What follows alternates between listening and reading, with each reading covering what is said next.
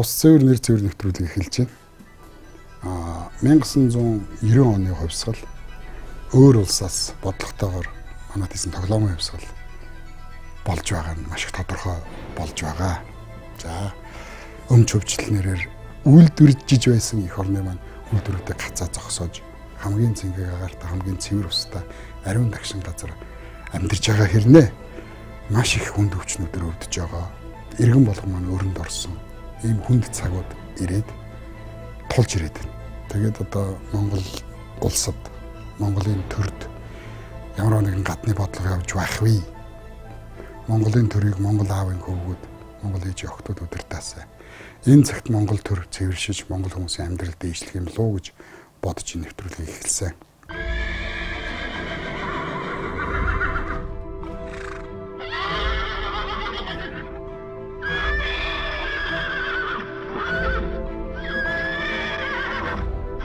Одун шэню их хөнгөрнийг байгуулж хятад хүний хөлс цус хоёроор цагаан хэрмийг бариулж тэнгэрт уйгар үсгээр Монгол гэж сэлсэн.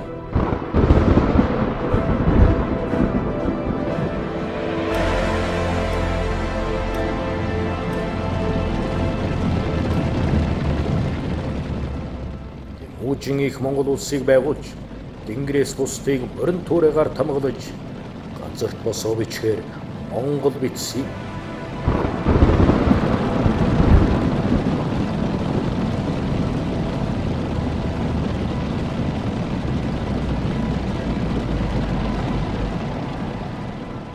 Арсаар хоёроор солихгүй мартад ганцхан Монголтой билээ.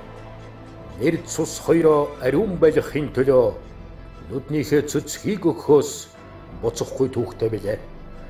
Иглийн амьдралаа эрэл хийц хүмүүстэй тэмцэж эцсийн ганц хүслээ хэлгээвэл эх орноо цэвэрлэмээр байна.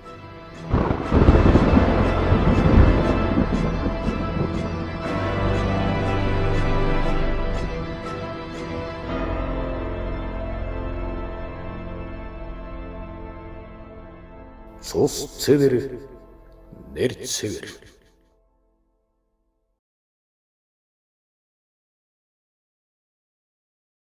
зохиолч, сэтгүүлч намын чим дахихаа урьсан юм аа. За сайн байна? За сайн байна? За. Ингээд та цагаан бороо номыг бичээгүй магадгүй би өрөхгүй байсан баг. Монгол хүнээслийг хасгах юм байна. Бас нэг манайс ч нэг онгодын асуудал байгаа шүү дээ. Тийм бас нэг юм өгөгдөл даалгаврын асуудал байна тийм. Ингэж одоо би таныг урьсан шүү. За цагаан бороо зохиол яагаад бичигдэх болсон юм бэ? Ямар ч үсэн өрсөнд баярлалаа тийм. За би цус цэвэр нэр цэврээ батлах гэж танаа урилга хүлээж аваагүй. Өнөөдөр хэдэн мянган жилийн турш харцаж ирсэн урд хөршийнхөө мөн чанарын тухай, сайн муу талын тухай. За өнөөдөр нөхцөл байдал ямар байгаа тухай. А энэ хоёр үндэсний хооронд ямар одоо сайн муу түүх болж ирсэн бэ гэдэг тухай саналаа солилцох гэж ирсэн. За цагаанбороо ч одоо олон жил бодож явсан. Олон жил бодож явсан бодох одоо зохиол бичнэ гэж бодохоос илүүгээр эмзэглэж авсан. Нэг юм цоогор бат гэж нэг юм манай нутгийн нэг юм сайр байсан. Тэгэд энэ өдөр чинь өдөр халууны олон булгийн хоолойд ч та. Олон булгийн хоолой одоо хүртэл би 8 эзэм. Ховд дулаан гомоос өршөөгөө Бээжин өрдөг 8 эзэм баг. Голдуу одоо мал голдуу тууж рүү явдаг гэж. 100 жил өмнө шүү дээ. Тэгээд тэрийг отож дээрм хийдэг. Нутгийн гэдэг одоо одоохоор бол манай либерал үзэлтнүүдээр бол дэрвчтэй. Хөв хүний одоо өмчөд халдаж байгаа олгаачуд. Аа монголчуудын уламжлалт үзлэр бол одоо шудраг ус ар цуглуулсан хөрөнгийг шудраг усаар дэрэмдэж авч байгаа. Одоо хууль засаглал зүйт төр байхгүй тохиолдолд өөрийнхөө чадлын эр зөргийн хэмжээнд шударгаас хуулийг одоо тийм байдлаар тогтоож яваа сайрсан. Аа дахиад жаахан гэтрүүлээд харах юм бол үндэсний эрхчлэл цугаар тогтолцоо тэмцэж байгаа хүмүүс байхгүй юу? Тэгээд дээрэм тоноолголтоо хийдэг байж тийм бүсүүдийн ачаа голтууд томдог баш. Тэгж яагаад зайлвал хуураад барьжсэн юм лээ тэр жоохор одоо гол толгойлогч. Тэг хуурч авчирч бариад тэр хятад шар цаач ингээд зэрэглээд хөрцөн шиг хурааж ягаад загтаа хурааж ягаад амьдраж тачсан гэж. Тэгээд тэр хавьд дарсан дардс байх хэрэгтэй гэдэг. Тэгээ ярьж байгаа тэр байна энэ байна гэдээ ярилцсан юмчсэн. Одоо бол би тэр яг одоо хайгаад болоогүй л дээ. Тухайн үед яг альцамаар нэвжсэн юм. Тэрээс ч бас одоо 40 жил болчлоо, 40 гаруй жил болчлоо. А гэхдээ ямар ч байсан тэр тэр яриаг нэг 10-аад настай хүүхэд сонсохдоо их хэмзэлжсэн. Тэгээ ингээд сүүл рүү хөгжүүлэг яриа энэ төр янз бүр юм сонсоод байх нь манай нагаз пуурлаа тэр нөхдөгтэй холбоотой байсан бол тарж байгаа. Одоо ээж аав гэсэн үг шүү дээ. Тэгээд тэр цогор бат тай холбоотой бас нэг эхлэгээ холбоотой хүн байж хэдэн онд үлээ нэг эхэлж нэг бичиж байгаа аччихсан нэг 5 6 жил юм. Тэгээд 2 жилийн өмнө бичил гарах шүвтэй. Тэгээд тэрийг бичгийн тулд нэлээд судалгаа хийсэн. Тэгээд судалгаа хийхдээ одоо тэр баруун гизгарын түүх цаашаа Шинжаан манай таарцж байгаа төр хуухуу дээр юм тэгэл ер нь баруун гизгарын түүхч нэг баялаг шүү дээ. Маш их баялаг. Хоногт яг ингэж шүү дээ. Компьютер дээр бичиж суулж байгаа ийшээ орон дээр өсөрч унтаал бусд нь бичиж суугаад өсөрч унтаал юу гэж уснаа санахгүй хоногт дөрөв гэвтгтэй бол тэр утаа унтна гэж байхгүй. Нэг их өсрээд 2 цаг унтна. Одоо багтаа бол нэг 15 минут унтаал сэрчин цэрэнгүүтэй хахаар усаал нүдэл. Тэгээд тэгтээ бол ингээд асуурттай бичиж байгаа. Асуурттай бичээл эхний хэсгийн нэг хүн лөө уншаад илүү нэг үгсийг алдаасаад нарыг алдаасаад гэж шидэнгүүтээ хоёр дахь бичиж дуусаад талаш ахш нөгөө хүн лөө шидэл ингээл ерөөсөө яг тэр нэг сүүлчийн гэд тоногт бол тэр нүдийг бичнүүдээ биччихсэн. Гараал ингээл 0 рүү нэг 50 м газар алхахтаа гоош доор пүрштэй юм шиг дээр дээр дэгдэжгүйгээл хүч чадал орчихсон. Тэгэж нойр хоолмох бахтай явж байгаа хэрнээ ядарсан шинжээрээс огт байхгүй. Тийм болчтой юм лээ. Тэгээд яг өмнө бас нэг тийм агуурын ормоныг бичих та яг нэг тэр нэг сар ахсан дотор л бичих жоохгүй. Тэр тэр онгод юм уу ямар нэгэн тийм уур амьсгалтанд ороод ирэх тэр өөр ирэхгүй өөр хөглөгдөл үдчтэй юм байна л да.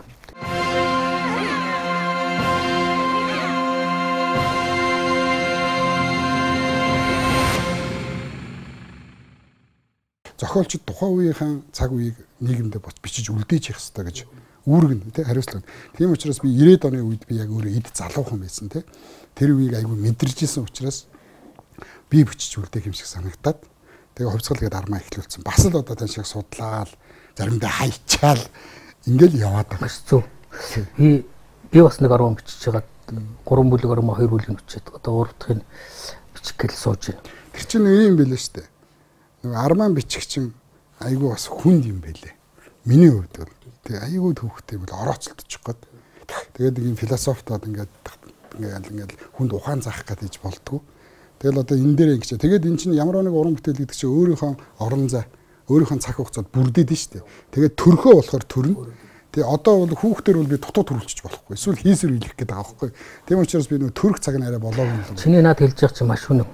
Түүх тэр 90-ад оны түүхэн үйл явдлыг түүхэн талаас судлах нэг хэрэг. А тэрний түүхэн үйл явдлын одоо тэр янз бүрийн баримт судалгаа янз бүрийн юм шүү дээ.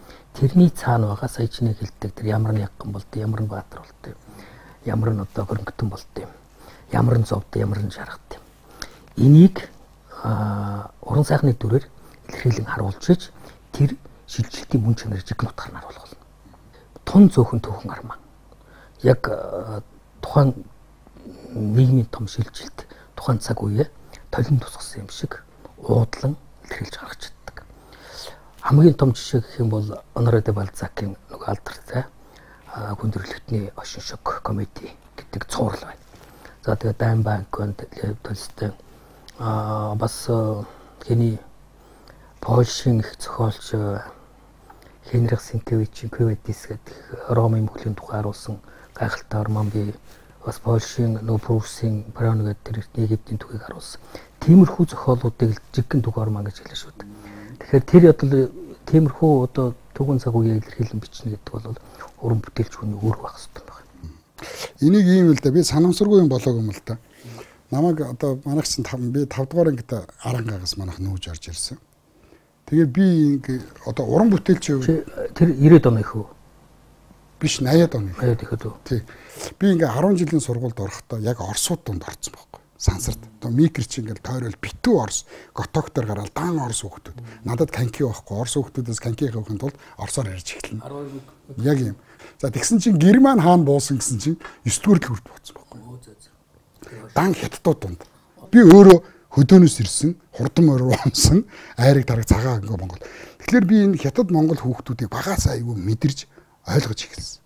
Тэгээд тэнд би одоо нөгөө тэр үед нь айл болгон загас тийчээдэг. Тэгээ би нөгөө хүүхд учраас загсан дуртай. Тэгэл хятад айлууд чинь нэг хан ингээд битүү аквариум. Тэгэл нөгөө нэг лаю тэ ууга сашу бага гэл хятад найзуудаасаа загас аваад аквариум аваад тэр үед хүүхдүүд ашиг сонирход байхгүй энэ өмхий хужаа гэж мэдэхгүй Тэ зүгээр л хүүхдүүд байхгүй цагаахан. Тэгээд сүүлд ингээд бүр ингээд хэдэн жилийн дараа 20 жилийн дараа уулзсан чинь нэг нь Монголын уул уурхайг бацсан. Нэг нь Монголын барилгыг бацсан. Нэг нь Монголын ресторануудыг бацсан.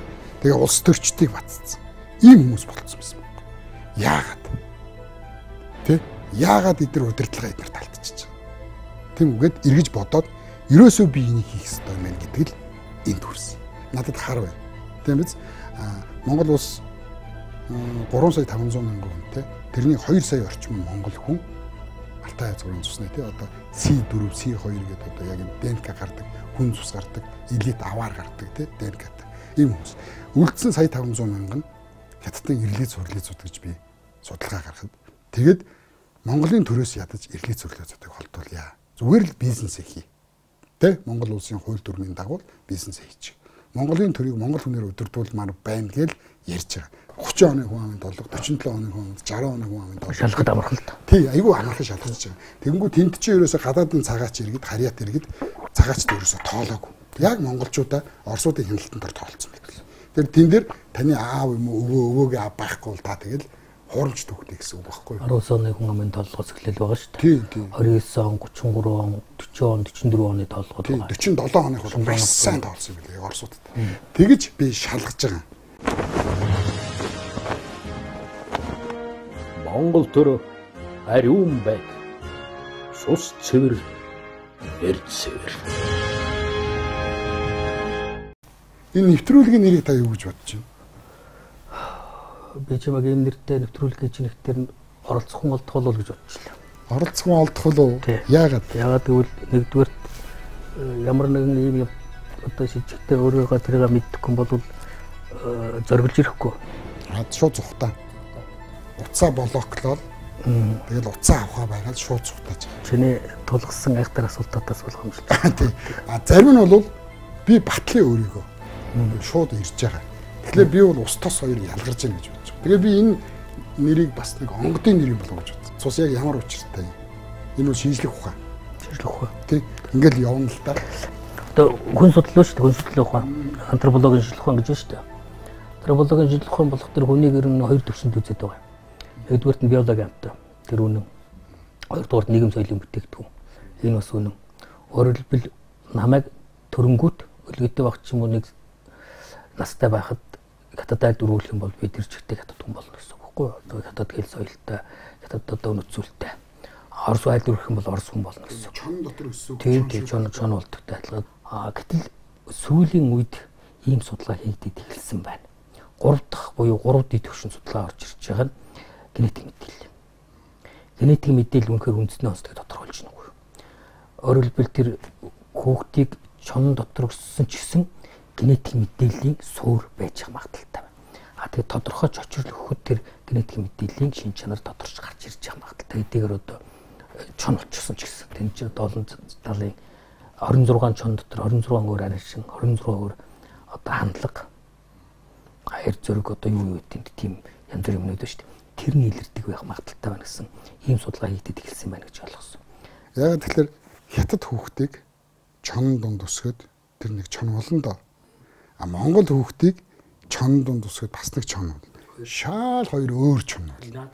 Тэгэхээр л Монгол цус, Хятад цус, Орос цус гэж байгаад байгаа юм. Одоо тэр үндэсний онцлогийг германчууд судалж байгаа юм байна л да. Судлахтаа нэг бий болчихсон одоо бид нарын төвчний хүмүүс биш. Одоо төлөвчсөн хүмүүс биш. Өсвөр насны, бага насны хүүхдүүд нөгөө үндэснийхээ төрөлхийн шин чанарыг нийгэмд гээгээгүй нийгэмд нийгмийн дарамтанд одоо алдаагүй байгаа тэр бага наснд нь ямар төвшин ямар одоо хандлагатай сэтгэлгээтэй чадвартай байгаа гэж судлаад эхэлж байгаа юм. Таны цус цэвэр бол Нэртэн ард олон эд унд үрд цэвэрвэлдэн. Монгол төр ариун байг. Сус цэвэр нэрцэвэр. Та ер нь өөрийгөө ер нь хэр цэвэр нэртэй нэр хүндтэй гэж боддог. Улс төрийн өндөр албан тушаал ашаад ингээд янз бүрийн юмтай зурладаг болох төр яг тэр талаас нарах юм бол цэвэр байгаа байхгүй юу? Тэр талаас нарах юм бол А улс төрийн тоглогчийн талаас нь харуул одоо тоглогчийн талаас харах юм бол охир тоглоомд оролцож байгаагүй. тэр одоо тэр охир тоглоомд чинь одоо ороо игээл уг нь бол ойлгоод байгаа. 16 оны сонгуулиар бид үндсөөл ярьж байсан байхгүй юу? 16 онд үндсэн хуулийг ярихаар хүлээж авдаг одоо тийм сонгогч олон төмнэс төхөөртэй байсан. Тэг үндсэн хуулийг яаж өөрчлөх вэ? Ямар одоо концепц байсан бэ гэдэг тусдаа яриа дээр. А одоо байгаа тогтолцоо бол биш. А тэгээд унсан 16 онд 20 онд болох төр одоо юу гэдэг нэг олигарх гэж яриад байгаа энэ энийг хулгай зэлгээ хийдэг улс төр эрх ашигын бүлэглэлүүд нь ээлжгүй одоо төр зайтгадаг. Тэгээд э, өөрсдөө зориулсан хууль гаргадаг. Наана бид нэр ардчлаа юм ажилтаа юм шиг чийж дураараа ярьж чинь биш дураараа ярьж чинь ингээд бүгдээрээ дур дураараа дур дураар хийгээд байгаа юм шиг боловч яг нийтэр дээрээ бид нарын хөв заяад тэд нар өөрсдөө зоргоор шийддэг. Бүх хууль дүрм шийдвэрийг тэд нар бидний сонголтоос үл хамааран одоо шийддэг тийм одоо зэр ажил гэж нэртэй болох зэрэглээ шиг тийм тогтолцоо болчихсон байна. Тэрийг л өөрчлөхгүйгээр одоо би 4 3 4 хүүхэдтэй одоо тэр хүүхдүүдийн ирээдүй чив тэрийг хувьдаа бэлэн адилхан байхгүй юу? Энэ сүүлийн 33 жилд бид нар яг залуу насныхаа хамаг сайн сайхан юмыг энэ харахгүй нэгд их одоо өмж бүжгэлсэн биенийгээ уралдаж идсэн шудруу юм одоо юу гэдэм яг одоо болон твшчихсэн ийм хачин нийгэмд өнгөрчлөө шүү дээ. Одоо ганц улдах амьдралынхаа хамгийн идэвхтэй насаа ийм аргагүй орчин өнгөрөж байна. Тэгэхээр үр хүүхдэд нэг тийм юм үлдээмэргүй санагдал энийг энэ тогтолцоог өөрчлөхгүй бол болохгүй байна гэсэн ойлголтоор хоёр удаа сонгуульдороо тэгээд унчиж байгаа юм л да. Тэгээд тэр чинь одоо миний чи одоо буруу л байхгүй юу ер нь бол сонгогчтой гэж байна. Тэгээд та миний 20 онд миний хэлжсэн үгийг санаж байна. Юу лээ? Би танд хэлжсэн шүү дээ. Би таныг тэгээд их зөөлөн хүн юм уу? Эсвэл өрөвчхөн хүн юм уу?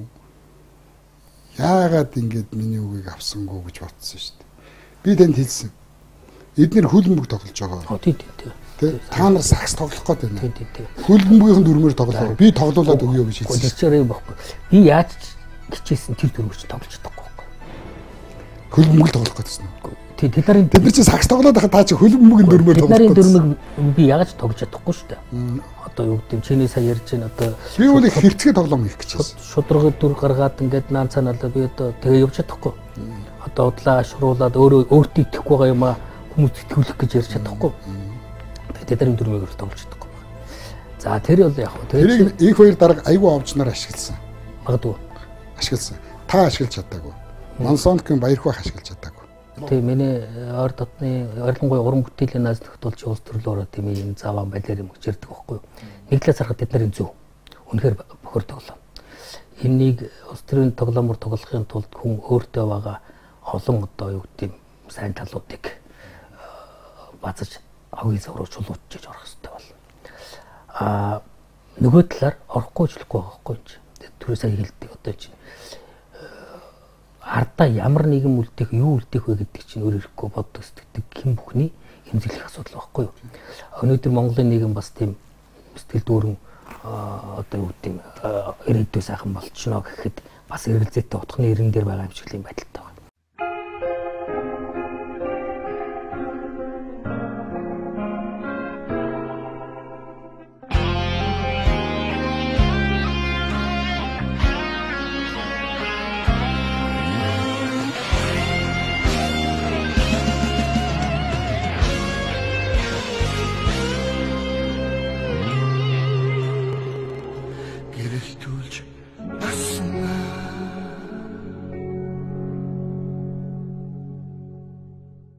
Одоо миний ажиглаж байгаагаар 1900 одоо 90 оны цагаан морин жилийн хувьсгал.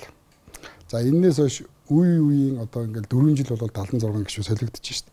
За нэг давхурдсан тоог нь хасаад үзэх юм бол ойролцоогоор нэг 610 эдэн их хурлын гишүүн болсон байт. 617 билүү 18 хүн.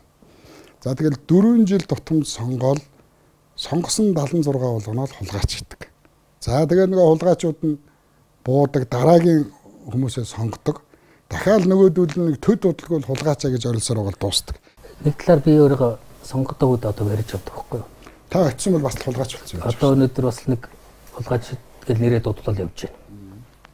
Тэгээ хулгайч биш гэдгээ батлах гэж би чам дээр ирж магадгүй. Чиний ярьдаг сая 600 хэдэн хүн ч чи улсын хурлын гишүүн боллоо гэж.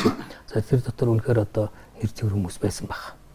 Би 2000 96-аас 2000 онуудад Монгол Ард төвсгалт номын өдөр цэцэн үеийн хэвлэлийн төлөөлөгчөд одоо нийлээ улс төр тойр байлаа шүү дээ. А тэр үед миний мэдгээр нэр цэвэр хүмүүс бас байсан шүү. Тэр үе 96 оны 96 оны үе.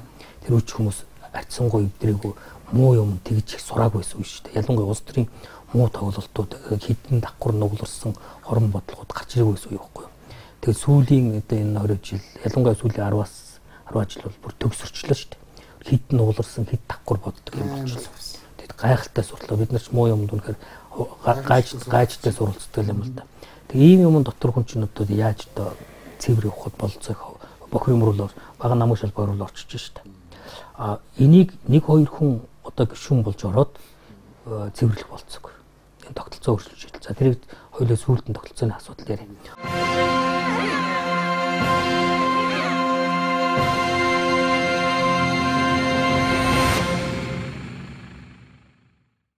Америк нэгдсэн улсад жишээлбэл хатад иргэдэд газар юм уу үйл хөдлөлгөөр өгөө болчихлоо гэж.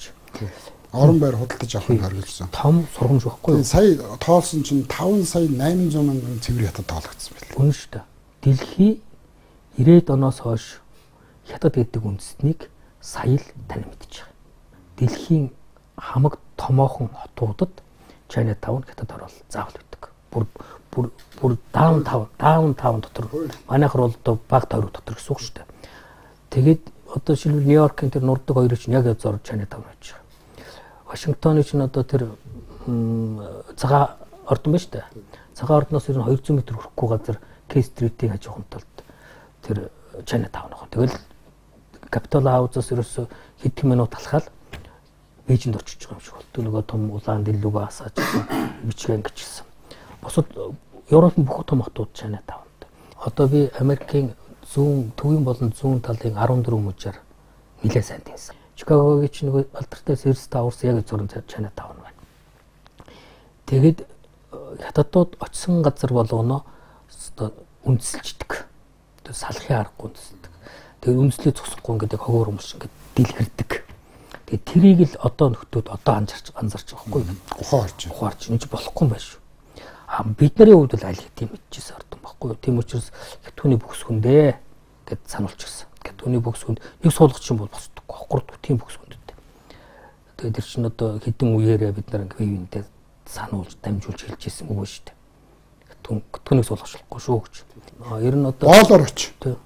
Хөөс шиг хуурсаа цац. Тэгээ босс болно гэж. Тэгээ одоо юм байна шүү дээ. Амар үг юм. Америк нэг жижигхэн тосгонд нэг хятад очлоо гэхэд 10 жилийн дараа тэр 10 болчихсон Одоо шилбэл бид энд сууж байгаа бид дөрөв дөрвөн гитад хүн байлаа гэхэд дөрүлээ нийлж ягаад чамайг хэлээ босгоно. Чиний үг чамайг босгохын тулд одоо тогоо чинийхэн шал шалын угаар зөөгчийнх нь бүгдээр хийгээд 3 жилийн дотор 4 жилийн дотор чамайг чиний жижигхэн чайна папыг босгоч. Дараа нь намайг босгоно. А нэг том бизнес боломжийн бизнес чи босчихсон учраас намайг дэмжихэд арай 4 жил биш 2 жил зарцуул. Дараа нь битүүр босчихсон байна. Нэг жилийн нэг жилийн дотор тэр босгоно. Ингээд богино хугацаанд босоод ирдэггүй. Энэ бодлого энэ төр айхтар тийм цагаачлалын алба гэж байна. Тэр цагаачлалын албаас маш хөнгөлөлттэй зээл төслөөр зээл олгодог гадаад дугаар хэрэгтэй. Бүр бодлого нь. Аа тэгээд үйл хөдлөлгөөрөнд хурдалж авдаг, бизнес судалж авдаг. Тэгээд араараасаа ингээд садан төрөл тосгоных гадамжиж ивсэр яваад тодорхой хугацааны дараа тэнд хятадын бүхэлд нийгэмлэг бий болдог. Америкийн одоо тэр тосготод хятад хоолны газар руу тосгон болгох хэцүү. Өөрөөр хэлбэл Америкийн тэр авраг том зах зээлээс хятадууд Америкийн тэр одоо хоолнцор шин чанараас хятадууд асар том тэр зах зээлээс асар том шангаар баялаг утгаж байгаа байхгүй. Цагаач хятад хэрэгтэй нэгдүгээр санхүүгийн дэмжлэг өгч байна. Хоёрдугаарт аа юуны онлайнаар боловсрол болгоод эхэлдэг. Ичнээгээр боловсрол болгоод өдөр даад эхэлдэг. А тэгээд очисон газар болгондоо заавал нийгэмлэг бий болгож идэг. Тэгээд тэр нийгэмлэгийн зохион байгуулалт гэж гэдэг. Энийг Америкууд сая л анзарч. Тэгээд бие биенийг мөрнө гэж хэлдэг. Одоо бие биенээ яаж яаж өмөрдгийг бол манай наймчд бол сайн мэднэ. Одоо 90-нд нэг жаахан маргаан болол ингээд Монгол хүн амгдол ингээд хятад тэр ингээд бүгдээрээ шаагаад ороод ирдэг бол Тэр чи ийм байлээ. Дөр болчихж байгаа шүү дээ. Одоо та бүхэн ирэлтлээ шүү дээ. Хуулиараа тийм болгоцсон. Та Монгол би хятад гэж бодъё. Та бүхэн муудалцлаа шүү дээ. Би таны ганцаараа зодсон шүү дээ. 10 жил. А бит хоёр нийлээ зодвол 5 5 жил. Бид гурав нийлээ зодвол 3 3 жил. Бид дөрөв нийлээ зодвол 2.5 2.5. 10-аад тий хуулийн тийм 15 одоо 10-аад зодчлоо шүү дээ. Нэг нэг жил. 20-аад зодвол 6 6 сар. Тэгээд 50-аас дэшвэл 100 100 юан. Манайх ч одоо юм шиг. Тэгэхээр 100 юанаар эсрэг шүү. Тийм манайх эсрэг шүү дээ. Бүдгэлцэнгээ бүр хөндөрдөг. Тэгэхээр манайх хуулиараа монголчуудаа хүм муутай нэгнийг өмөрдгөө навшин болгоод байгаа байхгүй юу? Миланд бас Чайна таун байдаг байхгүй юу? Чайна таун дээр нэг хятад нөхөр одоо энэ гадаа байгаа машины зогслоо шүү дээ. Сон тэр машина одоо нөгөө дөрвийн бус байрлуулсан байна. Жишээлбэл одоо юу гэдэг хоёр машин дунд хөндлөө идэх ч юм уу хоёр зогсоол тэр. А гэтэл нөгөө тэр Милан хотын нөгөө тикет торгуул бичдэг байцаагч хоёр эмэгтэй очиод өөд торгосон байгаа хгүй юу? Дөрвийн бус байна гэдэг. А тэгэхэд нөгөө залуу торгуулын хөрөж шүрх байна. Ягаад гэх юм бол чинь Чайна тавраа. Та нарт хамаагүй. Хаттын газар нутаг заргалцсан байна. Тэгсэн нөгөө тэгэд бүр муудалц муудалцж. Тэгээд нөгөө мө хоёр байцаагчийг тэр орчинд байсан хатад иргэд барьж зодох шахуй болж. Тэгээ нөгөө хоёр цагдаа дутчих. Тэгээ цагдаа дуудна чинь мэдээж мелотын одоо цагдаа дээ. Нэг юм хэв шүү дээ. Нөгөөдөл ирээд нөгөө нөхрийг хууль ёсны шаардлага тавиад биелүүлэг үүдэх шалтгаанаар төр саадуулан баривчилсан баг. Тэгээд таггайсан гэрээр. Гэтэл 3 хоногийн дараа баха 7 хоногийн дараа үлээ. Милан хотын замын төв замын хөдөлгөөнийг хаасан. Хэн хаасан гэж. Баруун Европт байсан тэр бүх одоо Европт байсан хотуудад байсан хятад иргэд хэдэн мянга үлээ. 1 2 мянгаар тогтохгүй олон мянга хятад иргэд ирж эсэргүүцэл үзүүл үзүүл мэлээ хотын замыг хаачих. Энэ эрүүл ухаан зөвхөн бид нараа энгийнээр бодоход. Уг нь тэр хүний буруу шүү дээ. Тэр чинь Италийн газар нутагт. Итали гэдэг бие даасан тусгаар улсын газар нутагт тэр Милан хотын газар нутагт байгаа. Гэтэл хятад хүн энэ Чайна таун манайх гэж үздэг энэ энэ хандлага хаасаг байдаг хгүй бусад оронд оронд байгаа чанаа тавтай ч ялгаа байхгүй. Тэгэд энэ тэр сая чиний ярьдаг тэр нэг өмөрдөг гэдэг чинь энэ дэр маш хүчтэй харагч. Хаавага Францын Лион хотоос Парисаас тэнд байгаа хятад сонсонгуудаа ямар ч холбоо байхгүй харилцаа олбох нэрэж мэдхгүй нэг хятадтай өмөр өмөрөх гэж хэдэн мянгаараа ирж миллион. Би тэрийг сонссон 3200 гаруй хятад цуглаж байсан гэж. Тэр мянгаар тогтоог өдр. Тэг энэ энэ өөр аюул байхгүй юу? Яагаад бид нар өнөөдөр би нэвтрүүлэгт одоо ингээд э, оролцох болсны нэг шалтгаан бол энэ аюулыг бид нар санаж явах хэрэгтэй байхгүй юу? Таны цус цэвэр бол нэртэн ард олон эд унд үрд цэвэр үлдэн. Монгол төр ариун бай. Цус цэвэр нэр цэвэр. Нүгдчтийн нэг сул тал байна нөгөө дүүх судраа ингэ бичжүүлэх бололцоо байхгүй нөгөө нүүдэл хийж өгдөг юм ураах ураад уучраас а монголчуудын өнөөгийн түүхийг хятадын эртний одоо их сурвалж хүчүүд дээрс л үнсэж судлах гэдэг шүү дээ. А гэтээ тэр тэрэнд 100% итгэж болохгүй байна. Яг гэвэл тэд нар чинь монголчуудыг буюу бидний үг дээдсийг нүүдэлчдийг эртний нүүдэлчдийг өөрсдийнх нь нүдээр харж байгаа байхгүй юу? Өөрсдийнх нь нүдээр дайсагнагч нүдээр. Үйл явдлууд дээр бид түүхэн үйл явдлын одоо жигэн бодмон чанарыг дүгнэн гарах болцоог ирж явах хэрэгтэй байна. За тэгээ эртний түүх бол ерөөсөө хөвчлэн дайтаж байлдчихсэн түүх шүү дээ. Тийм шүү дээ. Яг одоо манай эртний 1200 оноос хүннүү төрөөс ахуулаад хятадтай бол байнга байлдаж. Байлдаж ирэхдээ хамгийн сүүлд одоо богдхааны зэргүүдтэй нэг ахтар байлдаад. Хэдэн мянган жилийн түүх нь монголчууд өмнө төрштэй дайтахтаа ямагт хүчний эрсдэс харьцаантай байсан. Монголчууд түүхэндээ гэж одоо хэдэн 10 сая байгаагүй. Тэр байтугай 5 10 саяч байгаагүй. А Чингис хааны үед л гэхэд чинь монголчууд за нэг сая байсан мгүй юу тэр орчин байгаа.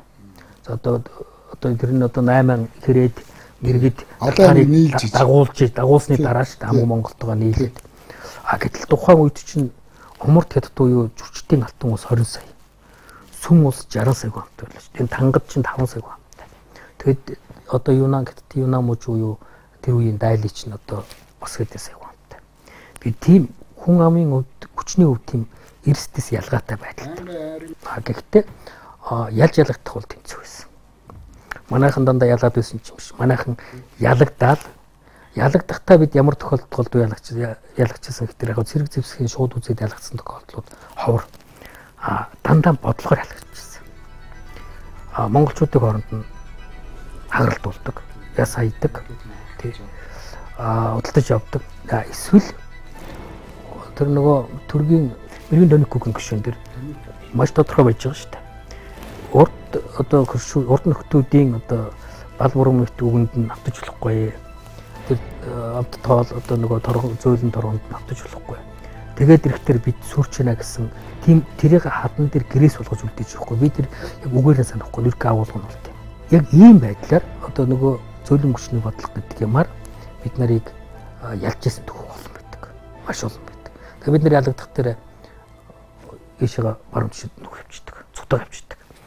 Аа цутаагаа хизээч одоо нөгөө туга гудайлгаж үзэг А суурин гэрэлт бол газар орны эзэлчдэр ялчлаа гэж болгодог. Яг үл дээр цугтах газар байхгүй. Суурин гэрэлт. А нүүдэлтийн хувьд бол цугтагаад явчихдаг тэр ялагдсан гэсэн үг биш байхгүй юу? Тэгээ одоо буугаад өгсөн гэсэн үг биш. Тэрнээс чи нэг үг өгдөг шүү дээ. 6 алхам ухраад 100 жил ялах хүчээ нөөнө гэж тийм. Тийм тийм тийм. А тэгэл уцаал сэргээл ингэж яадаг.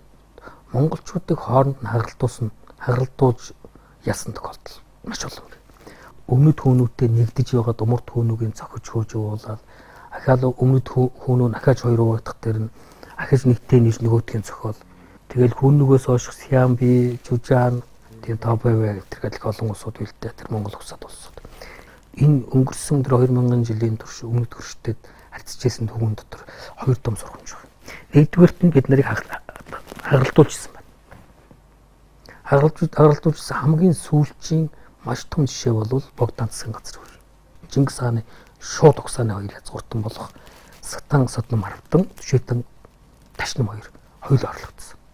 Тэрний дараа нийтдээ 14 5 орчим одоо Чингис хааны угсааны голдуу, Алтан мөргэн голдуу. Тэгэд хамгийн сонирхолтой нь үндэсний дэвшилт үзэлтэй томоохон ноёдууд а албан тушаалтнууд бүгд орлогдож алуулсан. Богд хааны дор нийт одоо 10 өр монголчууд энэ баруун талын монголчууд бүгдээрээ ингээд нэгдээд ирэнгүүт богд хааныг монголчуудтай харалдуулах тийм далд тагмуулын хорн бодлого явуулсан байна. Одоо сүлийн судалгаар тэмэрчээд байна шүү. Тэрнийх нь илрэл нь нөгөө монголчуудыг тэгж үнэмшдэг хаан хусаад яз уртнуудыг хорлсон байх магадaltaй. Тэгжиж богдыг алсан гэсэн итгэл үнэмшил 100 ярэ гаргаад тэгээ хэлбэл сулруулах гэдэг шүү. Тэгээд 15 онд үр дүн гарсан 15 онд хятадын харьяат автомат тулс болгосон. Олон өргөгдсөн 4-р он дээр. Тий. 4 жил болоод. Тий. Гачуун төгөө. А тэгээд тэр чинь 3 улсын гэрээ. 3 улсын гэрээ. А дараа нь дахиад 4 жилийн дараа а бүр байхгүй болгосон. Автоном автоном эрхийн хүртэл байхгүй болгоод хууль ёсны хааны шоронд хийгээд хятадын дааж унтан буюу ерөнхийлөгч энэ хөргөн мөргүүлээд. Тийм учраас Манлайбаатар дамдын сүрэн би энэ ордын өмнө дээр өгөхгүй гэж зогсоор өгсөн түүх байгаа шүү дээ. За тэнд манай урагш ноёдын оролцоо маш их худалдагдсан. Өнөөх нөгөө хүнийгүү үеэс л хийжсэн тэр явуулах чинь тэнд дахиад авдаг ч шүү дээ. Тэгдүгээр задлан бутгахсан байна хооронд нь. Хооронд нь одоо үл ойлголцол бий болгосон. Худалдан авах авдаг юм гэсэн. Монгол төр ариун байг. Сус цэвэр эрдсээр. Архив руу орж ирэн та өөрийгөө шүүж үзчихсэн үү? Ийм юм байлаа. Архив руу ороо шүүхлээр тайж гаралтай хүмүүс болстой. Таних аяйгуу тодорхой гар. Маш тодорхой. Яагаад гэвэл тайж ухсааны хүмүүсийг дотоодыг хамгаалах юм чи аяйгуу лавшруулж судалж ирсэн юм бэл. А зүгээр одоо тайж ухсаа мухсаа байхгүй гаруул үүсэлтэй жирийн харц ард мард бол зүгээр одоо өвөөгөө чи аавч юм өвөөгөө өвөөг тэр овогтой тэр тийм нутгийн уугуул тэдэн он төрсөн тэдэн онд нас орсон гэж хэдхэн бичиг. А тайж ухсааныхаа үлстэй амар. Манай өвөөгийн аав чинь болохоор өндөр өвөг болохоор цэмбэл гэж одоо сайн аймгийн их зартай амар баян тайж ирсэн. Тэгээд сүүлдээ нөгөө алах гал те хөрөнгөний ургаад алах гал ганц үг нь удмаар нь таслах гал. Тэгээд нутгийн ардууд нь цэмбэлдээжин ганц үг гэж нууж явж одоо эмээгийн ааваар алтан гэрлийн гэрлийн шаруу гэж нэрээ солилцож аниг болцсон байдаг. Монголчууд ч одоо ингээл уурлахаараа нэг нэг нэг хужаа гэдэг шүү дээ. Тэ чи юм уу хужаа би чи юм уу. Таны ер нь муу хужаа гэж доромжилж ирсэн үү? Үгүй юу. Одоо Одоо намайг бол өстой зүүндөө муу хужаа гэж доромжилсан. энэ их олон депресс нэг янз бүрийн юмнууд нийгмийн асуудал ч бас байна. Тэгэд энэ депресс дотор ч хүмүүс юу яаж депрессээ гаргаж ийн хөтер нэг нэг нь харааж голдуу гаргаад байгаа байхгүй юу. Ялангуяа онлайн дээр бол тэгэл янз бүрийн үг хэлэн штэ. Өнөөдөр бид нарын эмгэлтэй байдал бол ойлголцож болох 10 шалтгаан байхад 11 дэх ойлголцохгүй шалтгаанаа барьж авч үздэг юм маш эмгэлтэй байдал байна. Энэ янзаар удах юм бол бид 100 жилийн өмнө ямар байдалд арчиг байдалд орлоо хэдэн мянган жилийн өмнө үе үе арчигууд орд байдалд орж исэн оршихуугүй юу гэдэг оршихуугүй юу гэдэг дээр хоолоо дээр утга тавьж исэн тэр гашуун түгээ бид тавтах болно гэсэн үг. За. За ингээд цус цэвэр нэр цэвэр нэвтрүүлгийн урилгыг хүлээн авсан Намин жим дахта баярлалаа. Дөнгөж сая хэллээ. Хятадтай үндэстэнгүүдийг эд эс ширхэг болгоноороо нэгдэн хэлж хүчрхэгж хүчрхэгжиж Нистер Глоб буюу дэлхийг эзлэн дэлхийг удирдахыг хүсэж байгаа том гүрний ард бид нар ингээд бөөрөнд нь залгаатай байгаа. Ингээд еврейчүүдийн хэлдэг нэг үгээр нэвтрүүлгээ дуусгая гэж бодож байна.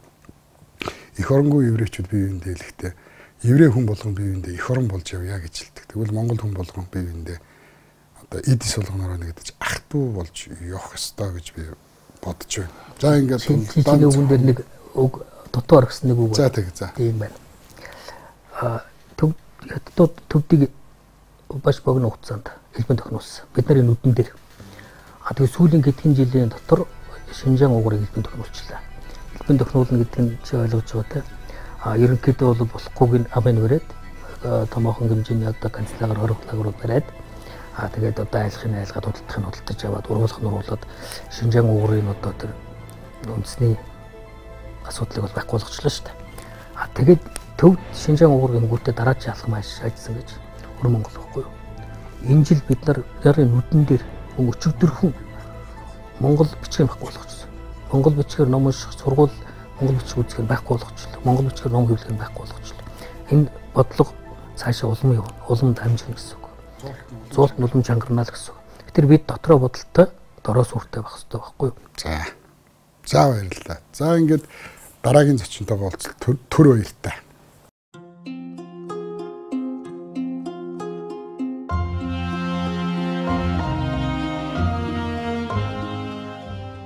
цус цэвэр нэр цэвэр болтугай. Эрлийс хурлийс малын шимэн цаашаа байдгийн эрлийс хурлийс хүний сэтгэл нь ч цаашаа байдгийн аа. Бүл нэмгэн Монголын цусан цэвэр байгаасаа бүтэн сэтгэл дэлгэх нэрэн цэвэр байгаасаа удам залгах үрсийн ясан Монгол байгаасаа ураг залгах октим нь ингэрн чанга байгаасаа дээдсээс үлдээсэн нутаг минь дэлхийд данстай юм шүү дээ.